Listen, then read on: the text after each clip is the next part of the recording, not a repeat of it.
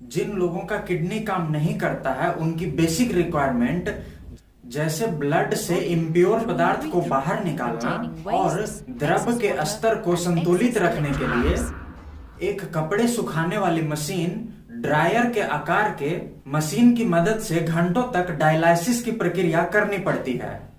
एक portable kidney बनाया गया है जो कि छोटा, हल्का और बेल्ट सिस्टम पे फिट होने वाला है और इसको बदला भी जा सकता है।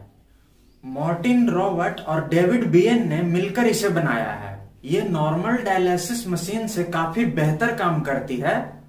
बिल्कुल वास्तविक किडनी की तरह। और इसका इस्तेमाल सप्ताह में सातों दिन, चौबीसों घंटे किया जा सकता है।